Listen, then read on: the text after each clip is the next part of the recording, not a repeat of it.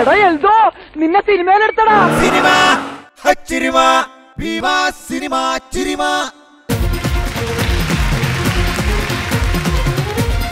നമസ്കാരം. എല്ലാവർക്കും സ്വാഗതം. ഭീമ സിനിമ ചിരുമയിലേക്ക്. ഭീമ സിനിമ ചിരുമ നിങ്ങൾക്കായി അവതരിപ്പിക്കുന്നു ഭീമ കേരള കർണാടക ആൻഡ് തമിഴ്നാടു.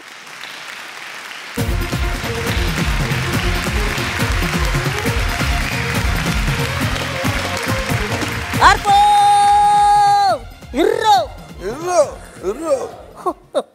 എനിക്ക് കോറസ് ഇല്ലാതെ ഞാൻ വിഷമിച്ചിരിക്കുകയായിരുന്നു. താങ്ക് യു ഭീമ സിനിമ ചിരിമയുടെ എല്ലാ പ്രേക്ഷകർക്കും ഹൃദയം നിറഞ്ഞ ഓണാശംസകൾ. പത്രു ഇതെന്താ ഇത്? ഓണവും കഴിഞ്ഞു. അടുത്ത ആഴ്ചയായി. ഇപ്പോഴാണ് ഓണാശംസകൾ അതൊക്കെ വലിയ ആൾക്കാർക്കല്ലേ സാർ? ഇപ്പൊ എനിക്ക് ചെറിയ ആൾക്കാർക്ക് ഇപ്പോഴാണ് ഓണായത്. താഴേക്ക് വരുമല്ലേ ഓണങ്ങൾ എത്തി ഇപ്പോഴേ എത്തിയുള്ളൂ അല്ലേ? എത്തിയുള്ളൂ. ഓക്കെ. ഇതെന്ത് ബോഡി ഗാർഡ് കോസ്റ്റ്യൂം ആണല്ലേ നമ്മുടെ? അതെ അതെ അതെ ഉണ്ടും മുണ്ടും ഷർട്ടും ഒരു വെറൈറ്റി ആയിക്കോട്ടെ എന്ന് വെച്ച് ഓണക്കാലമൊക്കെ ആയതുകൊണ്ട്. അപ്പൊ ബോഡി ഗാർഡിൽ തന്നെ ഒരു അഭിനയ അഭിനയിച്ച വേറൊരു കഥ ഒരു ക്യാരക്ടറാണ് നമ്മുടെ ഇന്നത്തെ ഗസ്റ്റ്. അത് ശരി. ഹരിശ്രീ അശോകനാണ്. അശോകൻ ചേട്ടനാണ്. കുറെ കാലമായി പുള്ളിക്കാരോട് ഒരു അഞ്ചാറ് ചോദ്യങ്ങൾ ചോദിക്കണം എന്ന് വിചാരിച്ചിരിക്കുന്നു വിളിക്കാം നമുക്ക് അശോകൻ. ഹരിശ്രീ അശോകൻ.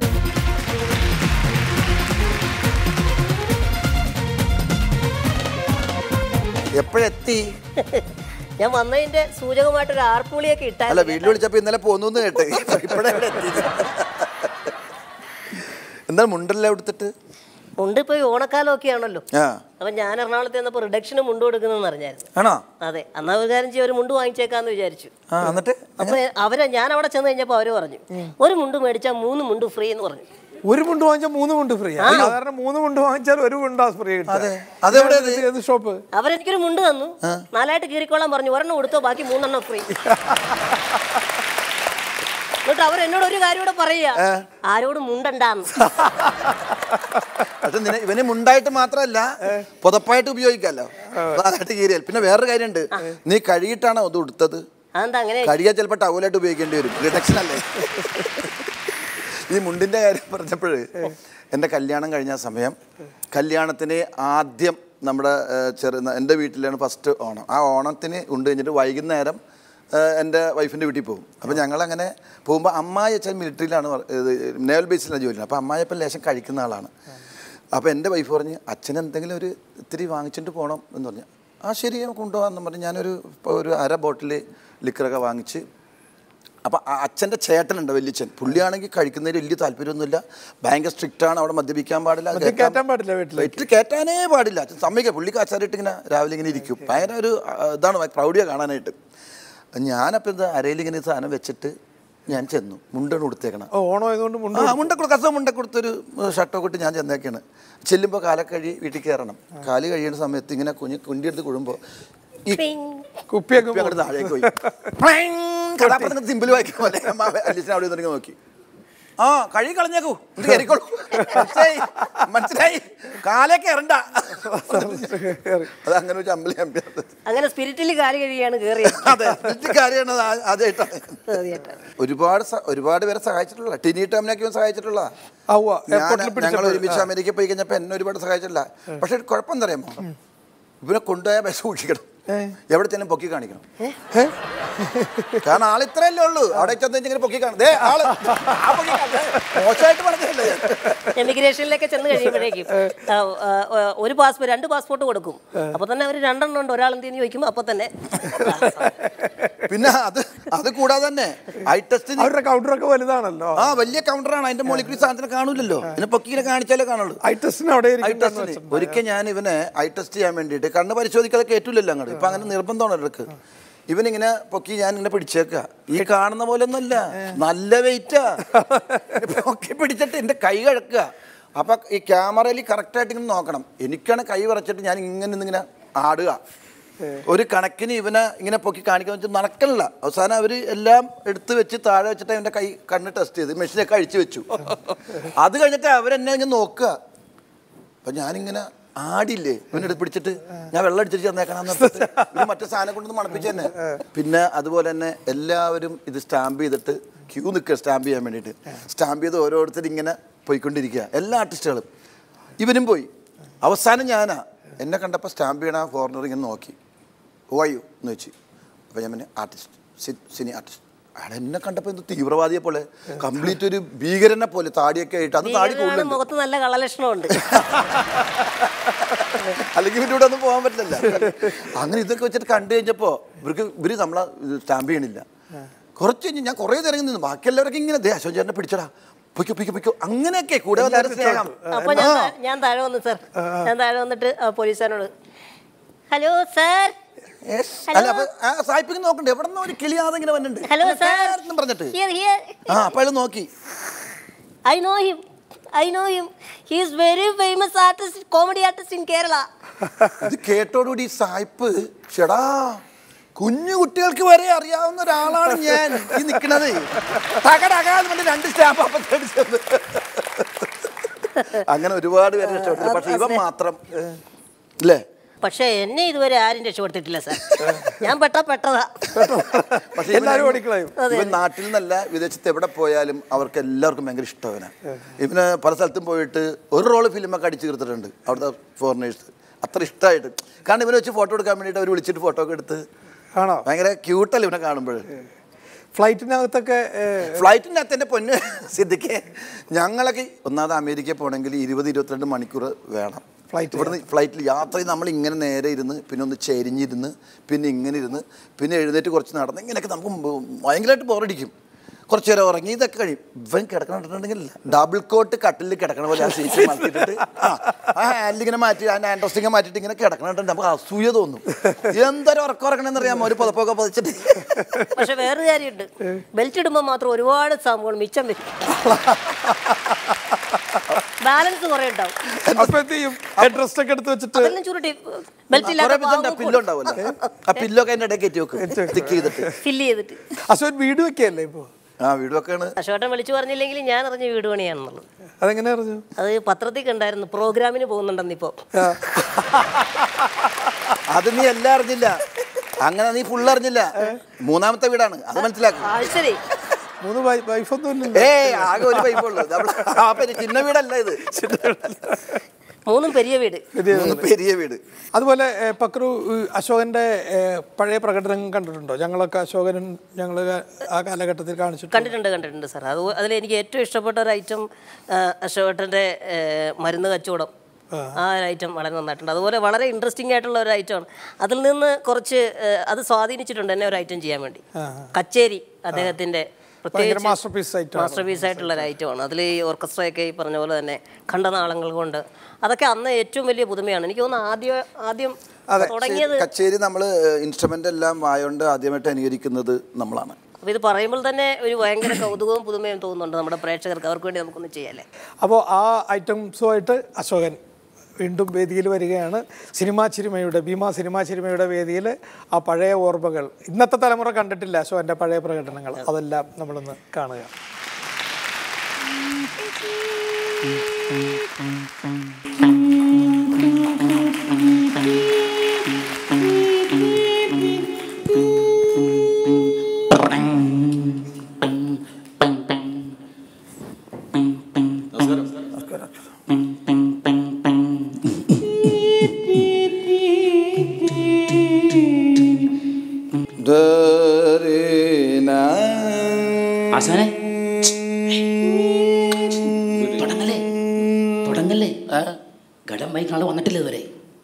ഗണപതിക്കാട് വന്നില്ലേ?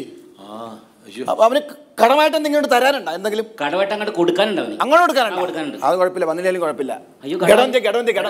ആ ഞാൻ വായിച്ചോളാം. വായിച്ചോളൂ. പിന്നെ.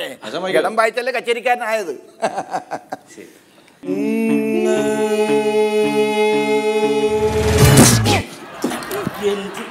ഇതെന്താണോ? സെഫ്റ്റിൽ വെച്ചാ സോഡ പൊട്ടിക്കണത്? ദേവസ്വത്തിന്റെ സോഡക്ക് ഇത്ര ഗ്യാസ് ഉണ്ടെന്ന് ഞാൻ അറിഞ്ഞാ? മാറ്റിട്ട് പൊട്ടിക്ക്. ഇങ്ങോട്ടാ. എവിടെ കിടന്ന്? എന്താണ് സെഫ്റ്റിൽ വെച്ചാ സോഡ പൊട്ടിക്കണത്.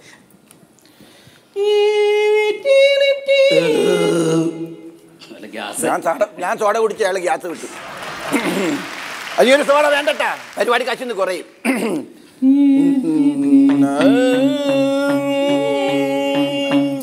ഒരു പാറ്റകൾ നടന്നു പോയ പോലെ. അതെ എന്തായാലും അത് ഈ കേച്ചേരി അപ്പൊ തീരും? കേച്ചേരിയാ. കേച്ചേരി അല്ലടോ കച്ചേരി. ആ കാച്ചേരി അപ്പൊ തീരും? കാച്ചേരി അല്ല കച്ചേരി. എന്ത് കുന്ത്രാണ്ടേ ആട്ടെ കുന്ത്രാണ്ടോ? പിടിച്ച് പുറത്താക്കണം അതെ സംഘടന അയ്യോ സംഘാടന ആ കാലം നോക്കിയേ. കാണല്ലേ ആണല്ലേ ദൈവമേ കാശ് മേടിച്ചിട്ടില്ല. അതെ ഇത് എപ്പ തീർക്കണം? ഈ പരിപാടി തീർത്തിട്ട് വേണം. എനിക്ക് സ്റ്റേജ് പൊളിച്ചിട്ട് അവിടെ ടെമ്പോ വെയിറ്റ് ചെയ്യാം. ഈ പരിപാടി കഴിഞ്ഞിട്ട് വേണം സ്റ്റേജ് പൊളിക്കാൻ. അതെ. അല്ലേ? പരിപാടി കഴിഞ്ഞിട്ട് പൊളിക്കേണ്ടി വരൂല. നന്നായിട്ടൊക്കെ ചെയ്യും.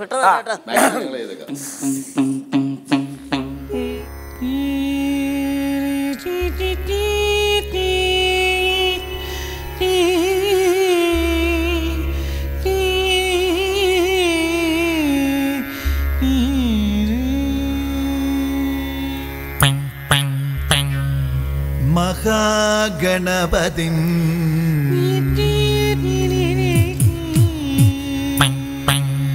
மகாகணபதின் மனசா ஸ்மராமி. மகாகணபதின் மனசா ஸ்மராமி. மகாகணபதின் மனசா ஸ்மராமி. ಮಹಾ ಗಣವದಿನ್ ಮನಸಾತ್ ಪರಾತ್ ವಸುತ್ವಮ ದೇವಾದಿ ವಂದಿತ ಮಹಾ ಗಣವದಿನ್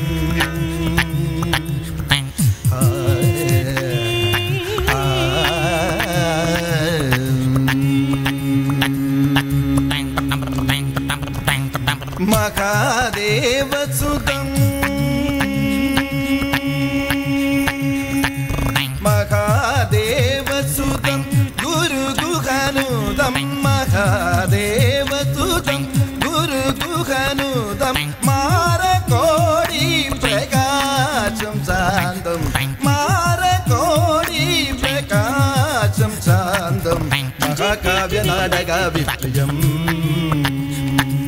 മഹാകാവ്യ നാടക വിപ്രിയം മൂഷിക വാഹന മോദക പ്രിയം മഹാകാവ്യ നാടക വിപ്രിയം മൂഷിക വാഹന മോദക പ്രിയം മഹാഗണപതിൻ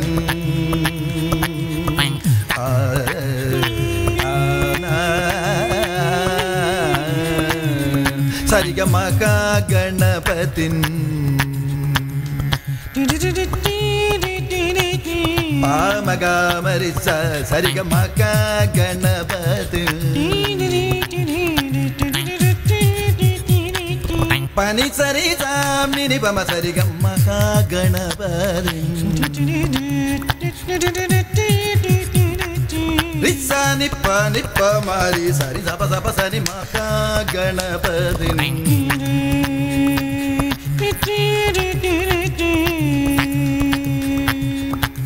ni sa sa sa ni sa ni sa sa ni sa ni sa ni sa sa sa ni sa ni sa sa pa ma pa ma ga ma ni sa ni sa ni ga ma ga ma ni sa ni sa ni sa pa ni ga ni pa ni pa ni pa ni pa ma pa ni pa ni pa ni pa ni sa ni sa ni sa ni sa ni sa ni sa ni sa ni sa ni pa ni pa ni pa ma pa ni pa ni pa ni pa ri sa ri sa ri sa ri sa ri sa ri sa ri sa ri sa sa ri ga ga ma pa ga ma pa ma pa pa ni pa ni sa ri sa ni ni pa ma sa ri ga ma ka गणपतिं मनसात्मरामि Vashishtha वामदेवादिवन्दित मका गणपतिम्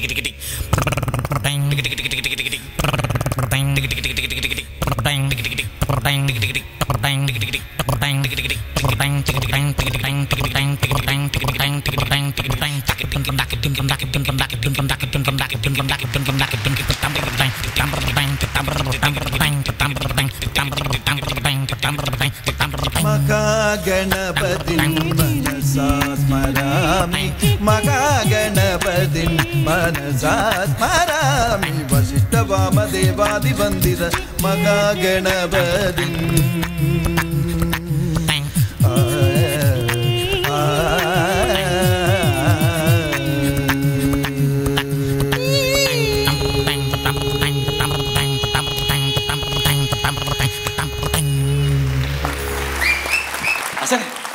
പൊന്നാട എനിക്ക് മതി പഴയ പൊന്നാടയിട്ട് വേണ്ട.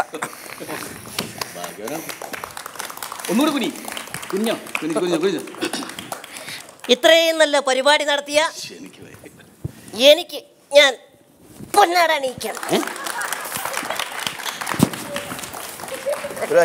അടിച്ചേട്ടല്ല.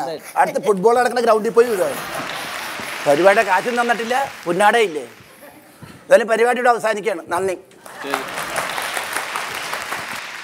രക്ഷക എന്റെ പാപഭാരമെല്ലാം. നീക്കണേ. യേശുവേ എന്നും നീതിമാന്റെ മാർഗം നൽകണേ. രക്ഷക എന്റെ പാപഭാരമെല്ലാം നീക്കണേ. യേശുവേ എന്നും നീതിമാന്റെ മാ അച്ഛന്റെ പ്രസംഗം ഇച്ചിരി ഓവറായി പോയല്ലോടാ. ഏയ് എവിടെ? എനിക്ക് കേട്ടോ അതെന്തേ?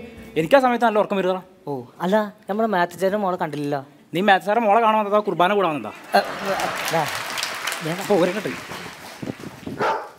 പോവട്ടെ പോവട്ടെ ആ അല്ലേ ആ. നല്ല ആളാ. എന്തേ? ഇത് എവിടെയായിരുന്നു? കുർബാനക്ക് പള്ളി കണ്ടില്ല. അതെ അതേ പാപ്പിയാരെ ഇന്നത്തെ നമ്മുടെ അച്ഛന്റെ പ്രസംഗം. ഉഗ്രം പ്രസംഗമായിരുന്നു. എന്റെ സ്റ്റീഫ അച്ഛന്റെ പ്രസംഗം ഉഗ്രനാണെന്നുള്ള കാര്യം വർഷങ്ങളായിട്ട് കപ്പ്യാരായി എനിക്കറിയാം.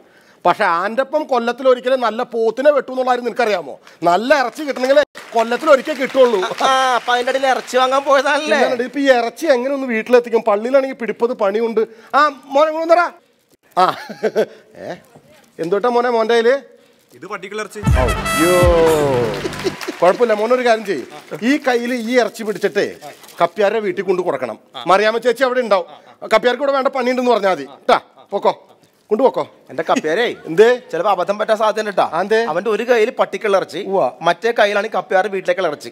രണ്ടും ഒരേ കളർ മാറിപ്പോ സാധ്യത നീ ഇപ്പൊ ഇത് പട്ടിക്ക് ഏതാ? നിന്റെ ഇറച്ചി ഏതാ? ഇത്. പട്ടിക്കുള്ള ഇറച്ചിയല്ലേ ഇത് കപ്പി ഇത് ആകെ മാറൂല. മോനെ ഇത് പട്ടിക്കുള്ള ഇറച്ചി. ഇത് കപ്പയാരുടെ വീട്ടിലേക്ക് ഇറച്ചി. ഇത് പൊക്കി പിടിച്ചേ. ഇത് കപ്പയാരുടെ വീട്ടിലേക്ക് ഇറച്ചി. ഇത് പട്ടിക്കുള്ള ഇറച്ചി. മാറിപ്പോവല്ലേ? കൈ മാറിപ്പോരുതൊന്ന് ഇങ്ങനെ പിടിച്ചാണ് പൊക്കോ. പൊക്കോ പൊക്കോ. അങ്ങനെ. അപ്പൊ മോൻ പൊക്കി പിടിച്ചത് കപ്പ്യാരുടെയും താത്തി പിടിച്ചത് പട്ടിയുടെയും ട്ടാ മനസ്സിലായില്ലേ? അവന്റെ മുണ്ടഴിഞ്ഞു പോണ്ടിരുന്നാ മതിയായിരുന്നു ഉണ്ടായിരുന്നു പോയാലും കുഴപ്പമില്ല. ഇറച്ചി താഴെ പോണ്ടിരുന്നാ മതി. ആ ചക്കര ഏതാണ്? അത് നമ്മുടെ വർഗീസിന്റെ മോൻ. ഏത് വർഗീസ്? ഓ വർഗീസിന് അറിയില്ല. കീടം. ആ.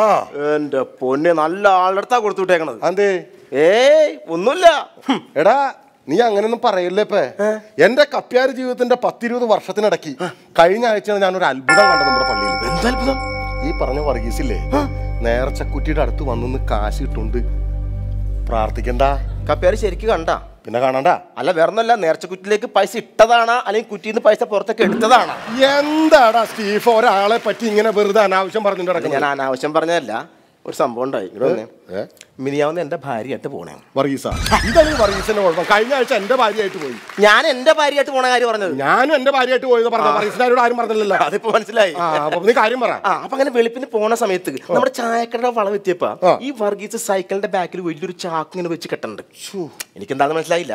അപ്പൊ ഞാൻ ഇറച്ചി മേടിക്കാൻ ചെന്നപ്പോ എന്റെ ശുദ്ധഗതി കൊണ്ട് ഞാൻ ആന്റപ്പനോട് പറഞ്ഞു ആന്റപ്പൻ ചേട്ടോ നമ്മുടെ വർഗീസ് ചായക്കടയുടെ വളവിൽ സൈക്കിളിന്റെ പുറയിൽ എന്തോ ചാക്കിലേക്ക് വെച്ച് കെട്ടണ്ടോ എന്ന് ഞാൻ പറഞ്ഞു. അത് കെട്ടണത് വർഗീസ് ആയതുകൊണ്ടും പുറകിൽ ചാക്കായതുകൊണ്ടും നീ പറഞ്ഞതിൽ യാതൊരു തെറ്റുമില്ല. ഞാൻ വീട്ടിൽ ചെന്ന് പത്രം വായിച്ചോണ്ടിരിക്കുമ്പോ ഈ വർഗീസ് വന്നേക്കാണ്. എന്തിന്? എന്റെ കയ്യിൽ പിടിച്ച് ചോദിക്കണേ. സ്റ്റീഫ സത്യം പറ. എങ്ങനെ മനസ്സിലായി ആ ചാക്കിന്റെ അകത്ത് മടത്തിലെ ജനറേറ്റർ ആണെന്ന്? അപ്പൊ മടത്തിലെ ജനറേറ്റർ വർഗീസ്! എന്റെ വർഗീസേ! അതെ പള്ളിയിൽ നാളുണ്ടായോടാ അത് പറയാൻ വിട്ടുപോയി. ഇന്നത്തോടുകൂടി നമ്മുടെ പിള്ളേരുടെ മുഖച്ചായ മൊത്തം മാറ്റണം. പള്ളി പുതുക്കി പണിയണമെന്ന്. നീ ഒന്നും മിണ്ടാണ്ട് എന്തുമാത്രം ആൾക്കാരെ വന്ന പള്ളിയിൽ ആ ആൾക്കാർ വന്നതാ. എന്റെ സ്റ്റീഫോ ഇനി തുടങ്ങി എല്ലാ ഞായറാഴ്ച നമ്മുടെ പള്ളിയിലെ ആളുകളുടെ എണ്ണം കൂടും. മനസ്സിലായില്ല. എടാ സർക്കാരിന്റെ പുതിയ മദ്യനയം അനുസരിച്ച് ഞായറാഴ്ച ഡ്രൈഡേ അല്ലേ? ഡ്രൈഡേ എടാ മദ്യം കിട്ടൂല പള്ളിയിലേക്ക് വരുന്ന ആൾക്കാര്. എടാ പള്ളിയിൽ ഒരുമിച്ച് വീഞ്ഞ് കിട്ടൂല? ഭേദം കൊല്ലപ്പല്ലേ ഇതിങ്ങനെ ആടി പതുക്കെ പോവാല്ല പക്ഷെ വേറെ സംഭവമുണ്ട്. നമ്മുടെ പള്ളിയിലെ വീഞ്ഞ് നിർത്തലാക്കണമെന്ന് ചില കൂട്ടർ ചർച്ചയിൽ നടക്കുന്നുണ്ട്. സ്റ്റീഫോ പള്ളിയിൽ നമ്മുടെ കുർബാനയ്ക്ക് കൊടുക്കണ വീഞ്ഞ് ഈ ഗവൺമെന്റ് അല്ല ഏത് ഗവൺമെന്റ് അധികാരത്തിൽ വന്നാലും നിർത്താൻ നമ്മൾ സമ്മതിക്കൂല. നമ്മൾ സമ്മതിക്കൂല. അത് ഓരോ മതത്തിനും ഓരോ ആചാരങ്ങളുണ്ടെന്ന്. ഇപ്പൊ ഞാൻ നീ വേറെ സംഭവം കേട്ടാ? കുട്ടപ്പന്റെ പേര് വെളിച്ചപ്പാട് കുട്ടപ്പൻ. എടാ നമ്മുടെ പള്ളിയിൽ നമ്മൾ കുർബാനയ്ക്ക് വീഞ്ഞു കൊടുക്കണായി കുട്ടപ്പന്റെ ഇതിൽ അവരുടെ അമ്പലത്തിൽ ചില കലശവും പരിപാടിയൊക്കെ ഉണ്ടല്ലോ. മുത്തപ്പന് ചാരായം വെക്കാറുണ്ടല്ലോ. ചാരായം നിർത്തി വിദേശ മദ്യമാക്കി. അതിലെന്താ കുഴപ്പം? ഇപ്പൊ വിദേശ മദ്യം സർക്കാർ നിർത്തുന്നു പറഞ്ഞു പറയണു. സർക്കാർ വിദേശ മദ്യം നിർത്തിയാൽ കുട്ടപ്പന് കലശം നിർത്താൻ പറ്റുമോ നിർത്താൻ പറ്റില്ല. അപ്പൊ കുട്ടപ്പൻ എന്ത് ചെയ്തു? മഹാഭാവലോടാ പത്ത് കൊല്ലത്തേക്കുള്ള ബ്രാൻഡി മൊത്തം മേടിച്ചു. ഞാൻ നോക്കുമ്പോ ഒരു കയ്യിൽ വാൾ മറ്റേ കയ്യിൽ സ്മോൾ. അപ്പൊ ചിലമ്പ? ചിലമ്പില്ല വിലങ്ങുണ്ട്. ആവശ്യത്തിൽ കൂടുതൽ മദ്യം സൂക്ഷിച്ചു വെച്ചു പറഞ്ഞ എക്സൈസ് കൊട്ടിക്കൊണ്ടുപോയി ഈ മദ്യത്തിന്റെ പേരിൽ ഇനി നടക്കാൻ പോണ പ്രശ്നങ്ങൾ എന്തൊക്കെയെന്ന് പറഞ്ഞാൽ മനുഷ്യന് ഒരു രക്ഷ ഉണ്ടാവില്ല അത് എന്ത് വേണമെങ്കിൽ ആയിക്കോട്ടെ അപ്പൊ അടുത്ത ഞായറാഴ്ച കാണാം. അടുത്ത ഞായറാഴ്ച എവിടേക്കാ പോണേ നീ? ഇവിടെ പോയി ഇറച്ചി മുഴുവൻ വാരി മൂക്കറ്റം കിടന്ന് ഉറങ്ങരുത്. എന്തായി? മൂന്ന് മണിക്ക് പള്ളിയിൽ മീറ്റിംഗ് അച്ഛൻ വിളിച്ചു പറഞ്ഞിട്ടില്ലേ? അങ്ങനെ ഒരു കേസ് അച്ഛൻ പറഞ്ഞിരുന്നു. അടിയന്തര കമ്മിറ്റി വിളിക്കാൻ കാര്യം ഏത് ചെവിട്ടിക്കട കേക്കണേ നീ? എടാ നമ്മുടെ മത്തായുടെ മോളുടെ കല്യാണത്തിന്റെ കാര്യമൊന്നും സംസാരിക്കണ്ടേ? മത്തായുടെ മോളുടെ കമ്പനി കഴിഞ്ഞ ആഴ്ച മുടങ്ങിപ്പോയ കല്യാണല്ലേ മുടങ്ങി പോയതല്ലടാ അവൾ ഓടിപ്പോയതല്ലേ? അതെ ഞാൻ ആ കല്യാണത്തിൽ പങ്കെടുത്തില്ല. കപ്പിയാര് പങ്കെടുത്താണല്ലോ. എന്താണ് അവിടെ സംഭവിച്ചത്? സൈക്കിളിടാ. ഒരപ്പനും സൈക്കിള ഈ കല്യാണത്തിന്റെ തലേ ദിവസം ആർഭാടങ്ങളൊന്നും ഉണ്ടായില്ലോ മറ്റേ പരിപാടിയൊന്നും ഉണ്ടായില്ല. അച്ഛൻ കർക്കശക്കാരനാണല്ലോ. മദ്യം പാടില്ല ആർഭാടം പാടില്ല ഒന്നും പാടില്ല. ഒരു ലൈറ്റ് ഇടാൻ പാടില്ല. കരയൊക്കെ പാടില്ല ഒരു കാര്യം ഞങ്ങൾ പിറ്റേ ദിവസം കാലത്ത് ഞങ്ങളവിടെ ചെന്നേക്കാണ്. ഞങ്ങൾ പത്ത് നാൽപ്പത് പേരുണ്ട്. ഈ പെണ്ണിനെ ഇങ്ങനെ ഇറക്കാൻ നോക്കിയിട്ട് ഇങ്ങനെ ക്യാമറക്കാരുണ്ട് എല്ലാവരും റെഡി ആയിട്ട് നിൽക്കാണ്. എന്റെ സ്റ്റീഫ? പെട്ടെന്ന് മത്തായുടെ വീടിന്റെ അകത്തുനിന്ന് ഒരു അലർച്ച. മത്തായുടെ ഭാര്യ. എന്താ കാര്യം? കല്യാണ പെണ്ണിനെ കാണാനില്ലടാ. എട്ട് ദിവസം. ഇത്തരണ നൂറ്റൊന്ന് പവനും കൊണ്ട് വീട് പെയിന്റ് അടിക്കാൻ വന്ന വൈറ്റ് വാഷുകാരന്റെ കൂടെ ഒളിച്ചോടി പോയി എന്റെ പൊന്ന്. സ്റ്റീഫ മത്തായുടെ ഇണങ്ങി അലമുറ ഇട്ട് കരയണം. മത്തായ മത്തായാണ് തല തല്ലി കരയണം. എന്റെ ദൈവം വന്ന പെണ്ണുങ്ങളൊക്കെ ഇങ്ങനെ ആണുങ്ങളാ? ആണുങ്ങൾ ഇതിങ്ങനെക്കണം ഈ സമയത്തടാ. ഈ മരിച്ച വീട്ടിലേക്ക് ഈ ഡെഡ് ബോഡി കൊണ്ടുവന്ന ആംബുലൻസ് പോലൊരു വണ്ടിയിൽ അങ്ങനത്തെ ഒരു വണ്ടി വരണേ. മരിച്ച? മരിച്ചതല്ലെന്ന്? പിന്നെ? കാറ്ററിംഗിന്റെ വണ്ടി വന്നു. ഭക്ഷണം വന്നേക്കുന്നു ഈ സമയത്ത് മത്തായുടെ മത്തായുടെ ഭാര്യ അലമുറ ഇട്ട് കറിയണം സത്യം. മത്തായി ആണെങ്കിൽ തല തല്ലി പൊളിക്കണം. കറക്റ്റ് പെണ്ണുങ്ങൾ തിങ്ങനെ നിൽക്കണം. ഓക്കെ. ആണുങ്ങൾ തിങ്ങനെ നിൽക്കണം. അപ്പൊ നീ കല്യാണത്തിന് പങ്കെടുത്തില്ല എന്ന് പറഞ്ഞിട്ട് ഇതൊക്കെ നീ കറക്റ്റ് ആയിട്ട് മനസ്സിലാക്കി? കപ്പേര് ഇതൊക്കെ ഉണ്ടായിരുന്നു നേരത്തെ പറഞ്ഞാൽ എനിക്ക് ഊഹിക്കാലോ. ശരി ഞാൻ ഈ കാറ്ററിംഗിന്റെ വണ്ടിയോട് വന്നപ്പോ ഞാൻ നേരെ അങ്ങോട്ട് ചെന്നു ചെന്നപ്പോ ഈ കാറ്ററിംഗുകാരൻ ഒരു ഇത്രയും വലിയൊരു ബട്ടക എന്റെ അടുത്ത് തന്നറ ഒരു കുട്ടളം പോലത്തെ. ഞാനത് ഇങ്ങനെ പിടിച്ചപ്പോഴേ ചൂടാറിയിട്ടില്ലടാ. ഞാൻ അതങ്ങോട്ട് എടുത്ത് കൊണ്ടുവന്നപ്പോ അതിന്റെ അതിന്റെ മുകളിൽ വെള്ള ഒരു പേപ്പറൊക്കെ ഇട്ട് മൂടിയുണ്ട് ഈ ചൂട് അതിന്റെ ഉള്ളിൽ നിന്ന് വന്നിട്ടുണ്ടല്ല ആവി ഇങ്ങനെ അതിന്റെ മുകളിൽ നിൽക്കാം. വേർപ്പ്. വേർപ്പ്. ഞാൻ ഈ വെള്ള പേപ്പറാണ് മാറ്റിയിപ്പ സ്റ്റീഫാ. പെരുംജീരകത്തിന്റെ ഒരു മണം. ഓ. വേപ്പല മുകളിൽ പൊന്തി കിടക്കണ്ട. ഒരു ബീഫ് ഒരു ബീഫും തൊട്ടിട്ടില്ല എന്താടാ അതിന്റെ ഒരു മണം? നമ്മുടെ ഇടവകല്ല നമ്മുടെ രൂപത മൊത്തം അങ്ങടാ മണം പടർന്നില്ലേ പിന്നെ ഞാൻ നോക്കിയപ്പോ അന്ന രണ്ടാ അഞ്ചാറ് ആൾക്കാർ ഈ പെണ്ണ് പോയിന്ന സങ്കടത്തിൽ പോയി. ഒരു പോട്ട. ഞങ്ങളൊരു പത്തിരുപത്തഞ്ച് പേരുണ്ടായിരുന്നു. ഇരുന്നൊരു പിടി നല്ല വെള്ളരി ചോറ് മാങ്ങാക്കറി എന്നൊക്കെ പറഞ്ഞ ചന്ദന ഇറ്റ് വീണ മാതിരിയല്ലടാ വീണത്. ചെമ്മീൻ പൊടി. ഹോ. വായന്ന് വെള്ളം വണ്ട വന്നുണ്ടാ? വായന്ന് വെള്ളം വന്നിണ്ട? കേട്ട നിന്റെ വായന്ന് ഇത്രയും വെള്ളം വന്നിട്ടുണ്ടെങ്കിൽ തിന്ന എന്റെ വായന്ന് എന്തോരം വെള്ളം ഉണ്ടാവും ഓ ഞങ്ങൾ ഇതൊക്കെ പിടിച്ചു കഴിഞ്ഞപ്പോ മത്തായിയുടെ ഭാര്യ അലമുറയിട്ട് വരണം. ഒരു ബക്കറ്റായിട്ട് വന്ന്. ഈ ഉണ്ടായിരുന്ന ബീഫ് മുഴുവൻ ഇതിലേക്ക് കുത്തി നിറച്ച് കയറ്റി വെച്ച് അമർത്തിയിട്ട് ഇങ്ങനെ എടുത്ത് പിടിച്ചേക്കണ്ട മത്തായ അടിയിൽ താഴെ കൊടുത്തേക്കണം. എന്നിട്ട് രണ്ടും ഇങ്ങനെ പോണ്ടാ? സൈക്കിളടാ. പിന്നെ സഹിക്കാൻ പറ്റുമോ സൈക്കിളില്ല പക്ഷെ പെണ്ണ് പോയാൽ പെണ്ണ് പോട്ടാ തിന്നിട്ട് കുത്തിയിട്ടല്ലേ? വളർത്തിയില്ലേ? എനിക്ക് അതല്ല സഹിക്കാൻ പറ്റില്ല എന്തിട്ടാണ്? രണ്ടു ദിവസം കഴിഞ്ഞ് ഞാൻ വരുമ്പളേ മത്തായി ഇതിങ്ങനെ പറമ്പിൽ ഒന്ന് കുഴി ഉത്തണ്ട എന്തിന്? ഈ മാതിരി ബീഫല്ലേ ഇത് മുഴുവൻ അകത്ത് ഇവർക്ക് ഒറ്റയ്ക്ക് തീർക്കാൻ പറ്റുമോ ചീഞ്ഞു പോയി ബീഫ് മുഴുവൻ പറമ്പിൽ കുഴിച്ചിടണ്ടാ. ഇതെന്താ മത്തായി ദൃശ്യത്തിലെ മോഹൻലാലാ? മോഹൻലാലും എനിക്ക് അറിയാം നമ്മൾ ഇഷ്ടംപോലെ അനാഥാലയം ഉണ്ടായി. ഒരു തരി ബീഫ് അനാഥാലയത്തിൽ കൊണ്ടുനടക്കാം അച്ഛൻ അച്ഛൻ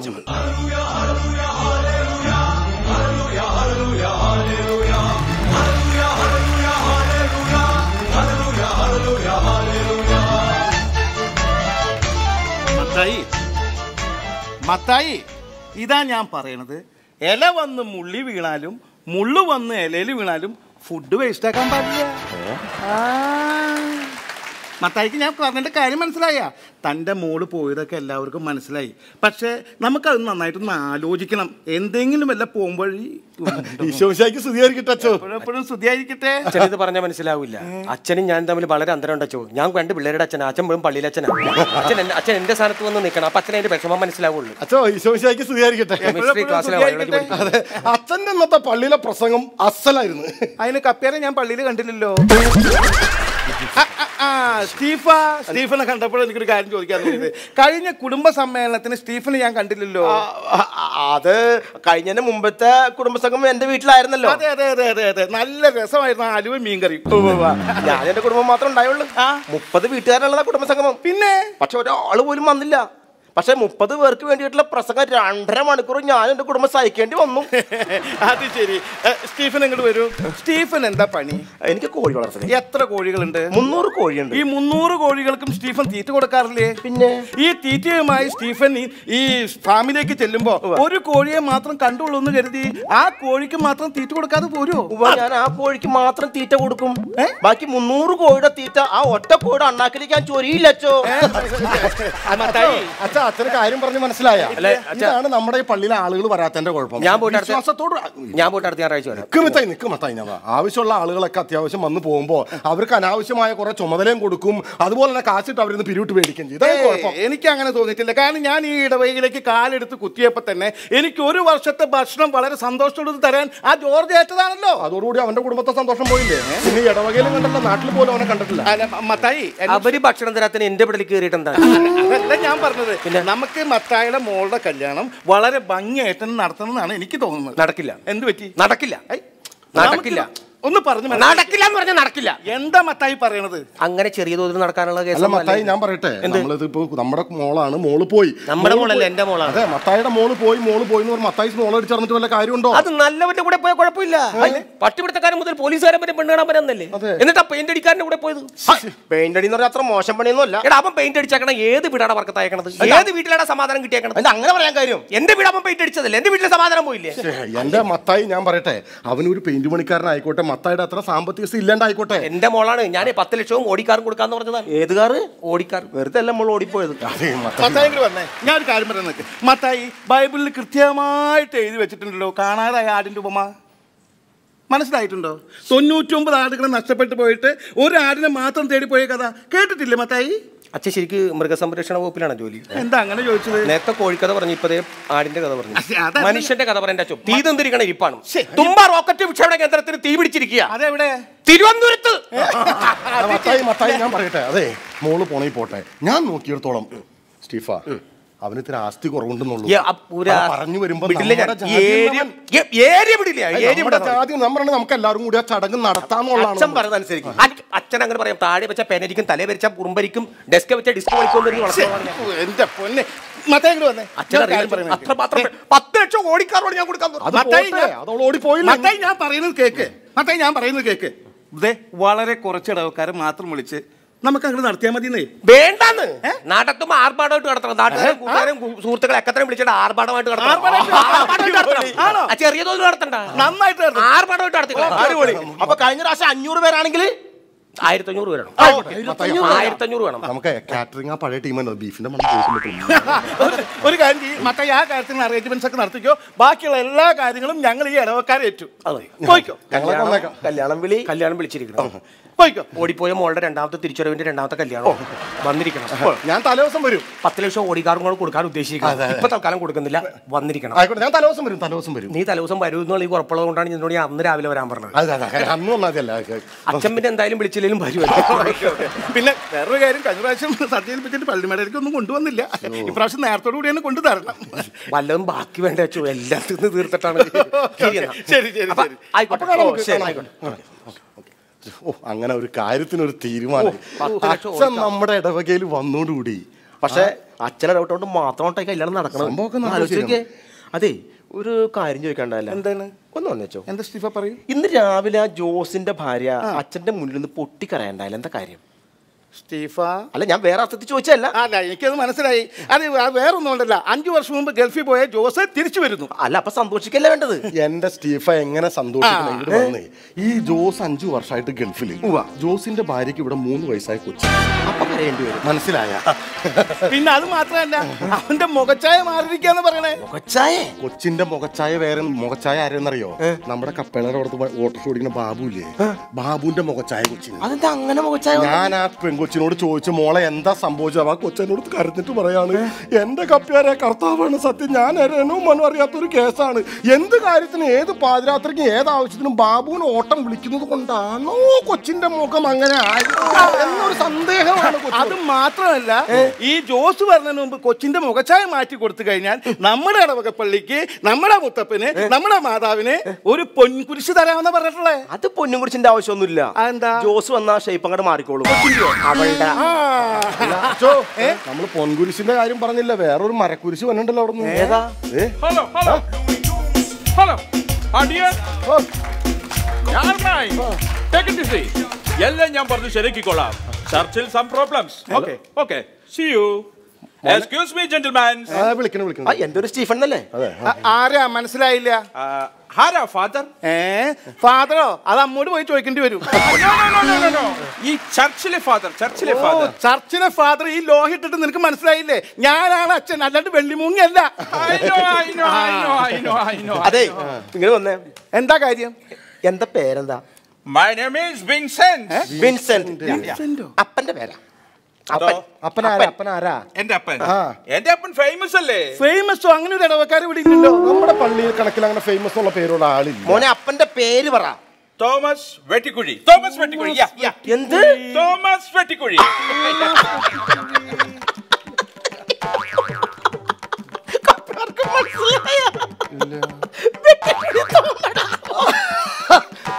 മനസ്സിലായ? ഇല്ല. വെട്ടിക്കുഴി തോമ. ഇങ്ങനെ ചിരിക്കാതെ കാര്യം പറ. കാര്യം പറ. സ്റ്റീഫൻ പറ. എന്താ നിനക്കറിയാൻ പാടില്ലേ? താൻ പിന്നെ ചിരിച്ചെന്തിനാ? എനിക്കറിയാന്നേ. പാടില്ലാണ്ട് തിരിച്ചാണ് താൻ പറയ കാര്യം പറ. എന്റെ അച്ഛൻ ഇത് ആരാണെന്ന് മനസ്സിലായ അച്ഛന്. ഇത് നമ്മുടെ പഴയ സിമിത്തേരി വെട്ടിരുന്ന കുഴി വെട്ടിയിരുന്ന കുഴിവെട്ടി തോമയില്ലേ? ആ തോമയുടെ മോനാണിത്. കുഴിവെട്ടി തോമ ആ പണ്ട് കാശിലുണ്ടായിരുന്നപ്പോ കുഴിവെട്ടി തോമ.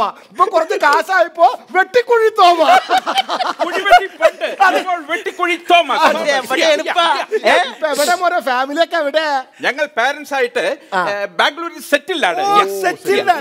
മോനെ ഇങ്ങോട്ട് വന്നേ വെട്ടിക്കുഴി ഇങ്ങോട്ട് വന്നേ. മോനെ എന്തിനാ ഇപ്പൊ ഇങ്ങോട്ട് വന്നേ? ഞാൻ വന്നത് എനിക്ക് ഒരു കുറി വേണം കുറി വേണം. ഈ മാസം വല്ല കുറി ഉണ്ടോ ഈ മാസം നമ്മുടെ പള്ളിയിൽ ആകെ ഒരു ലക്ഷത്തിന്റെ കുറി ഉള്ളൂ അത് ഇരുപതാം തീയതി സ്റ്റീഫൻ പറഞ്ഞേക്കണെ. എടുത്തല്ലോ. No, no, no, no, no. That not കുറി. പിന്നെ? ഐ മീൻ mean wedding കുറി, wedding കുറി. വെഡിങ് കുറി. Yeah, വെഡിങ് കുറി അടിക്കാൻ വേണ്ടിട്ടാ അപ്പൊ നീ ഒരു കാര്യം ചെയ്യേ. രൂപതയുടെ പ്രസി പോയാൽ മതി. നിനക്ക് നന്നായിട്ട് റിഡക്ഷൻ അവിടെ അടിച്ചു തരും. ഞാൻ ഉദ്ദേശിച്ചത് കല്യാണത്തിനുള്ള കുറി പള്ളിയിൽ നിന്നും കിട്ടുന്നില്ല. മോനെ. ഇനി അവനെ കളിയാക്കിയത് മതി. മതി. ആ കല്യാണ ചീട്ട് എന്താ വെച്ചാൽ കൊടുത്തേക്ക്? എന്റെ വെട്ടിക്കുഴി ഇങ്ങോട്ട് വന്നേ. ഇങ്ങനെയൊന്നും വന്ന് ഓടി ചെന്ന് ചോദിച്ചാ അച്ഛൻ കല്യാണക്കുറി തരില്ല. അച്ഛൻ പറഞ്ഞു തരണം അച്ഛൻ കല്യാണക്കുറി തരണമെന്നുണ്ടെങ്കിൽ അച്ഛന്റെ അടുത്ത് നമസ്കാരം പറയണം. നമസ്കാരം. അതെ അതെ അതെ. ഫാദർ നമസ്കാരം. എടോ അതല്ല കൽപ്പന പറയണം കൽപ്പന. അതെ, അതെ, അതെ. എനിക്കറിയില്ല. മോൻ കല്യാണം കഴിക്കണേ? എനിക്കറിയില്ല. അതും അറിയില്ല. എന്റെ ഡാഡ് പറഞ്ഞു ഈ പള്ളിയിൽ നിന്നും കുറി വാങ്ങിക്കൊണ്ടുപോയാൽ പൈസ ഉള്ള ഒരു പെൺകുട്ടിയെ കല്യാണം കഴിച്ചു തരാമെന്ന്. പൈസയാണ് വിഷയം വന്നേ? വെട്ടിക്കുഴി വെട്ടിക്കുഴി അവിടെ അവിടെ നിന്ന്, അവിടെ നിന്ന്, അവിടെ നിന്ന്.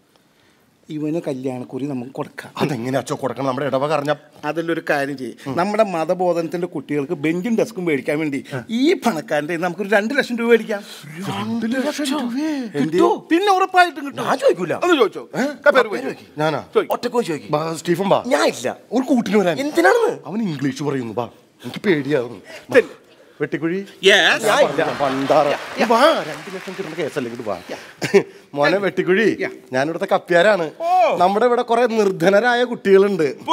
അതെ അതെ. അപ്പൊ അവർക്ക് ഈ വേദവശം പഠിക്കുമ്പോൾ ഒന്ന് ഇരിക്കാനും ഒന്ന് പുസ്തകം വയ്ക്കാനും. കുറച്ച് ഡെസ്കും ബെഞ്ചും പണിയുന്ന ഇടവക കുറെ നാളായി തീരുമാനം. കാശ് തമ്പടി ഇല്ല. മണി പ്രോബ്ലം മണി പ്രോബ്ലം അപ്പൊ അച്ഛൻ പറയണതേ നമുക്കൊരു ഇത്തിരി പൈസ കിട്ടിക്കഴിഞ്ഞ് എന്റെ കയ്യിൽ എന്റെ ഡാഡിന്റെ കയ്യിൽ ഒത്തിരി പൈസ അച്ഛൻ പറയണത് വെച്ചാ അച്ഛൻ എത്ര പറഞ്ഞു? മൂന്ന് ലക്ഷം. രണ്ട് ലക്ഷം അല്ലേ പറഞ്ഞു അമ്പത് അമ്പത് പങ്കിടാം. നമുക്ക് എടുക്കാം ഓക്കെ മൂന്നര ലക്ഷം. മൂന്നര ലക്ഷം? എനിക്ക് കുറി കിട്ടിയാൽ മതി. അച്ഛ കുഴപ്പമില്ല. അത് രണ്ട് ലക്ഷം തന്നെ തന്നേക്കാം. അതല്ലേ. അപ്പൊ ഒരു കാര്യം ചെയ്യും മോൻ പോയിക്കോളൂ. കുറി അടുത്ത ആഴ്ച തന്നേക്കാം.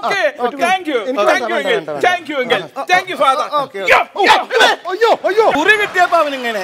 അപ്പൊ കല്യാണം കഴിച്ച എന്തായിരിക്കും അവന്റെ സ്ഥിതി? അതെ മത്തായി നാട് മുഴുവൻ നടന്ന അനൗൺസ്മെന്റ് ആണോ കല്യാണം? അപ്പൊ ഒരു കാര്യം ചെയ്യാം. നമുക്ക് മത്തായിയുടെ മോളുടെ കല്യാണം നമ്മുടെ എല്ലാ ഇടവക്കാരും കൂടി ചേർന്ന് അതിമനോഹരമായി നടത്തുന്നു. ഓക്കേ.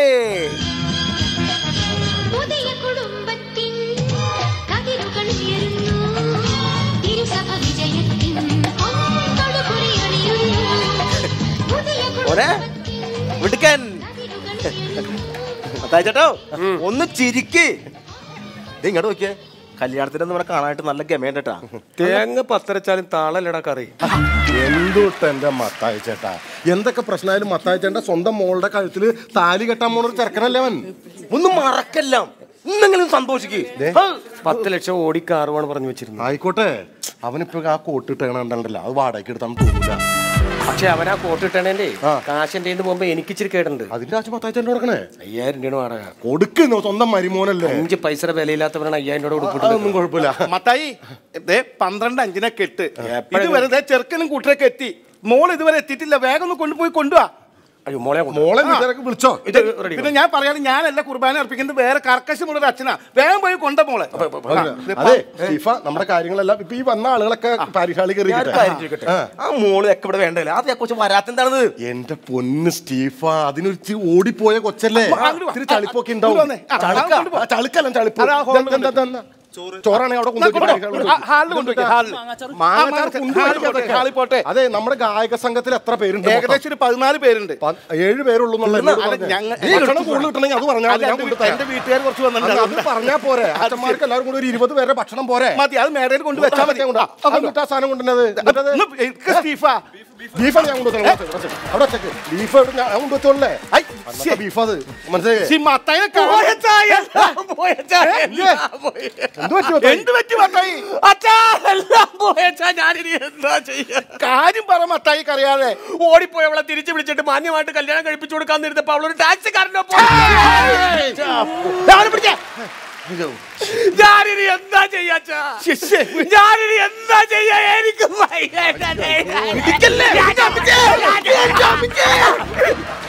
നീന്റെ ഇടയിലുണ്ടായിരുന്നു ആദ്യത്തെ രണ്ടിടി കിട്ടി. രണ്ടാമത്തെ രണ്ടിടി കിട്ടാണ്ടായപ്പോ ഞാൻ വിചാരിച്ചു എന്താണ് സംഭവിച്ചത്? എന്റെ നടപ്പുറത്താ കിട്ടിയത്. എന്തിനാ ഇനി ഇടിച്ച് പൊളിക്കണത്? മത്തായി, മത്ത- മത്തായി ഞാൻ ഒരു കാര്യം പറയട്ടെ? മോൾ പോട്ടെ. നമ്മളിപ്പോ അത് അന്വേഷിച്ച് നിന്നിട്ട് കാര്യമൊന്നുമില്ല. നമ്മുടെ മക്കളാണ് നമ്മൾ ഇത്ര നാളും വളർത്തി കൊടുത്തു പറഞ്ഞിട്ട് കാര്യമില്ല. നമ്മൾ തെളിക്കണ വഴിക്ക് പോയി പോയ വഴിക്ക് മത്തായി എനിക്ക് കാര്യം മനസ്സിലായി. എനിക്ക് അതിന്റെ സീരിയസ്നെസ് മനസ്സിലായി. ഞാൻ എന്താ ചെയ്യാ മത്തായി അടയ്ക്കായാൽ മടിയിൽ വെക്കാം. പക്ഷെ അടയ്ക്കാമനമായി നമ്മൾ എവിടെ കൊണ്ടുവയ്ക്കും? അത് എവിടെ വെക്കണമെന്ന് നാട്ടുകാർക്ക് അറിയാം എനിക്കും അറിയാം അച്ഛനും അറിയാം. പിന്നെ നിന്റെ പ്രശ്നം എന്താ? ആയിരത്തഞ്ഞൂറ് പേർക്ക് ഉണ്ടാക്കി വെച്ചിരിക്കണ ഈ ബീഫ് മൂത്തം ഞാൻ എങ്ങനെ ഒറ്റയ്ക്ക് തിന്ന് തീർക്കും വച്ചു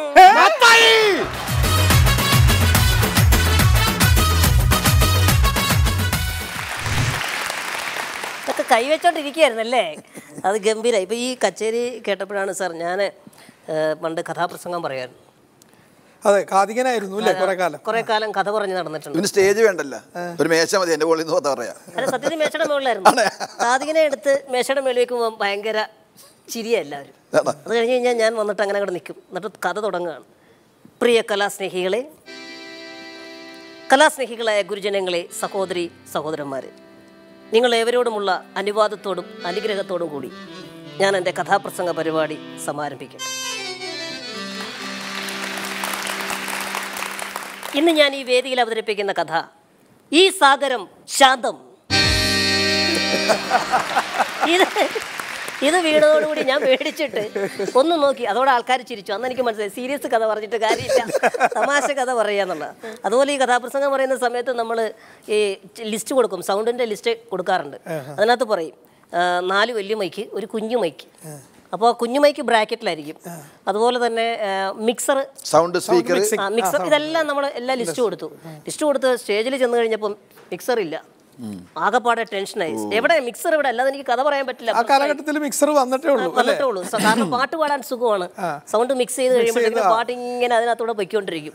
അങ്ങനെ വളരെ ഇൻട്രസ്റ്റിംഗ് ആയിട്ടുള്ള ഒരു സംഭവം ഉള്ളതുകൊണ്ട് ഇത് നമ്മൾ എല്ലായിടത്തും പറയും. മിക്സർ അല്ലേ? അതുപോലെ എനിക്ക് ശബ്ദത്തിന് പാട്ട് ഇങ്ങനെ നിൽക്കണമെങ്കിൽ മിക്സർ ഇല്ലാതെ പറ്റൂല. അങ്ങനെ ഞാൻ അവിടെ ചെന്നപ്പോൾ ഈ സംഭവം ഇല്ലെന്ന് പറഞ്ഞു ആകെ മുടൂട്ടായി. സംഘാടകരോട് പറഞ്ഞു എവിടെ? മിക്സർ എവിടെ? ഇല്ലാതെ പറ്റില്ല. കഥ പറയാൻ പ്രയാസമാണ്. എന്നൊക്കെ പറഞ്ഞു. അവസാനം ഇവർ ഓടി എവിടെയൊക്കെയോ പോയി വേർത്ത് ഒരു പ്ലാസ്റ്റിക് കൂടുമായിട്ട് വന്നിരിക്കുക നാല് പാക്കറ്റ് മിച്ചർ. ഇതുകൊണ്ട് തൃപ്തിപ്പെട്ടോണം. ഇനി കട അടച്ചു പോയി. അത് മാത്രമല്ല അജയനോട് ഒരു കാര്യം പറയാണ്ട് ഇത്തരം ദുശീലങ്ങളൊക്കെ ഒന്ന് ഒഴിവാക്കുന്നതാണ് നല്ലത്. ടച്ചിങ്സിന് ചോദിച്ചാന്നാണ് വിചാരിച്ചത്.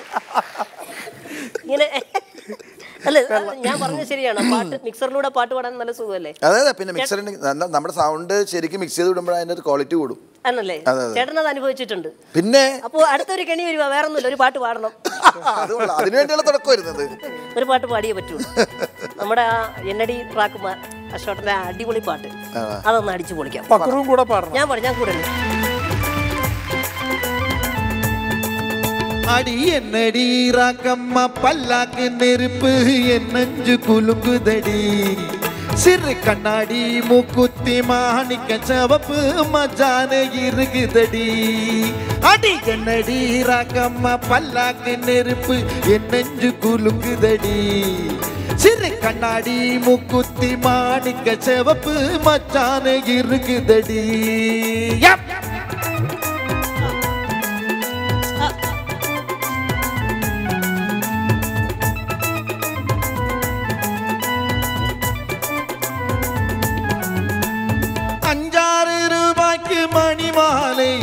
கழுத்துக்கு பொருத்தமடி. அஞ்சாறு ரூபாய்க்கு மணி மாலை உன் கழுத்துக்கு பொருத்தமடி. அம்மூரு மீராட்சி பார்த்தாலும் உன் கண்ணுக்கு வருத்தமடி. அம்மூரு மீராட்சி பார்த்தாலும் உன் கண்ணுக்கு வருத்தமடி. சின்னால பட்டையிலே கண்ணாக்கி எடுத்து என் கையால கட்டி கண்ணு என் பல்லு என் போக்கு அடிராசா தீ கையோடு கட்டி தரவா? அடி கண்ணடி ரகம்மா பல்லாக்கு நெருப்பு என் நெஞ்சு குலுங்குதடி சிறு கண்ணாடி மூக்குத்தி மாணிக்க செவப்பு மச்சான இருக்குதடி. அடி என்னடி ராக்கம்மா பல்லாக்கு நெருப்பு என் நெஞ்சு குலுங்குதடி சிறு கண்ணாடி மூக்குத்தி மாணிக்க செவப்பு மச்சான இருக்குதடி Thank you.